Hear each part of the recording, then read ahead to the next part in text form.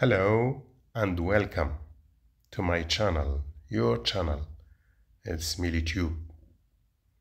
This narrow alleyway was once the only outlet to the Saadian tombs from Al Mansur Mosque. Yes, so what is the story then? In this video, I will let you know some facts and informations which you don't know about the Saadian tombs.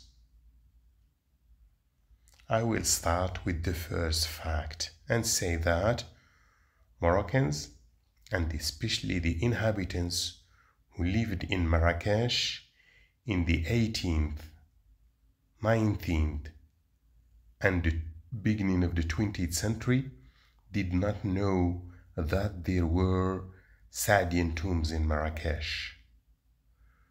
More than that, they didn't even know that there were kings of the Saadian dynasty who reigned in Morocco and used Marrakesh as their capital city.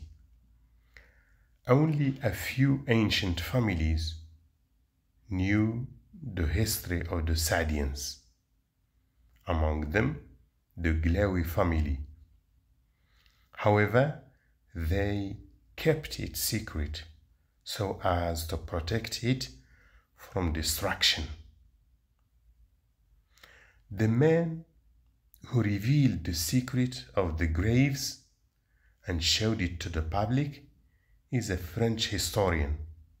His name is Maurice Tranchant de Lunel, and that was in 1917. He mentioned it in his book entitled Au Pays du Paradoxe, published in 1924. And he said in his book that while he was talking with Thami Glaoui one evening about fine arts, suddenly Glaoui started talking about ancient sultans of Morocco and mentioned Saadian sultans, then fell silent.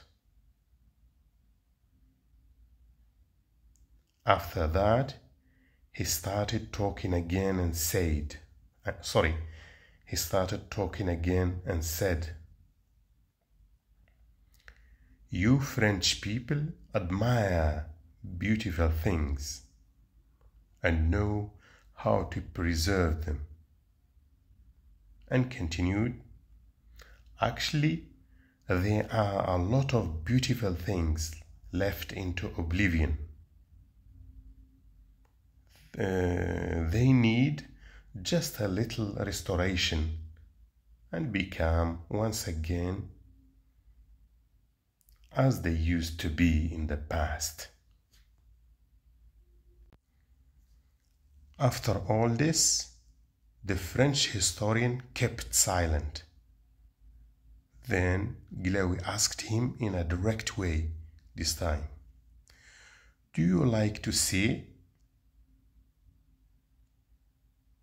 Then he dressed him in the Moroccan traditional way and took him through the Mansour Mosque, the only outlet to the graves at that time. The French historian related the discovery of this treasure in his book, saying that he saw trees, a dome, mosaics, plaster, tile work, and marble, marble, etc. After that, the French historian presented his report to the authorities, explaining that the graves should be restored. Yes, the Saadian graves. You can see here the main chamber here. This is a magnificent door which gives access to this beautiful beautifully decorated, gorgeous room or chamber called the 12 pillars chamber, the chamber of the kings, the Saadian kings. Among them, the king under the reign of whom Marrakesh and Morocco knew the golden age and glorious days. So, the Saadian tombs are almost the only remains of the Saadian dynasty, or the dynasty under the reign of whom Marrakesh knew its golden days and glorious age. The other constructions were destroyed by a sultan of their successors. Architecturally speaking, the historic tomb complex consists of two magnificent mausoleums.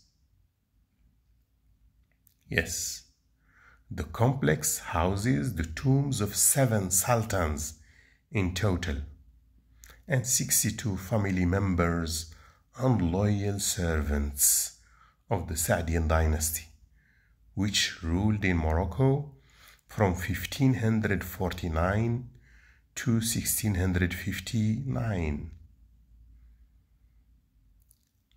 Under their reign, Marrakesh rose to become the seat of the government in 1554.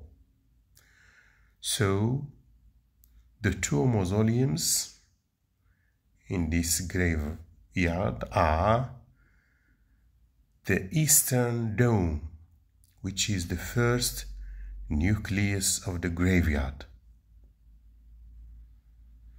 It was built by Abdullah al-Ghalib to honor his father and founder of the Saadian dynasty, who was killed in 1557 by the Ottomans. And uh, after the death of Layla Masouda, the mother of Ahmed al-Mansur al-Dahbi, in 1591, the mausoleum was made fit to her social rank. So here we can see that's the mausoleum in the Eastern Dome. Yes, the first to be built in this graveyard. And then we have the Western Dome, which is composed of two, two main sections.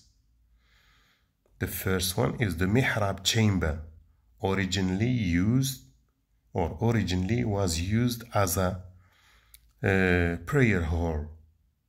And later, children tombs were added as well as one of the Alawite sultans died in 1792, Mulay. Then we have the 12 pillars chamber, which we have just seen in the video. It served as the main mausoleum. It has 12 columns and pillars and the magnificent door that gives access to the large funeral hall, the king's hall.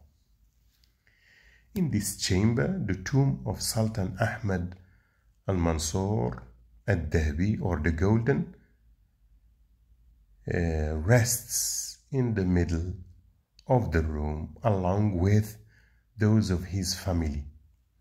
The tomb is overhung by a cedar wooden dome dotted with gold leaf and decorated with poetic epitaphs.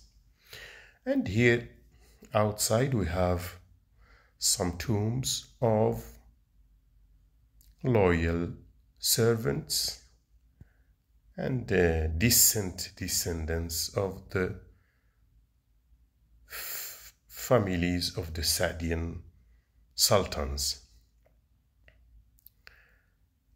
And you can see it's highly and richly decorated with the Moroccan style of construction and architecture, tile work, cedar wood, carved and painted cedar wood, plaster, and a lot of calligraphy, sometimes poetic epitaphs.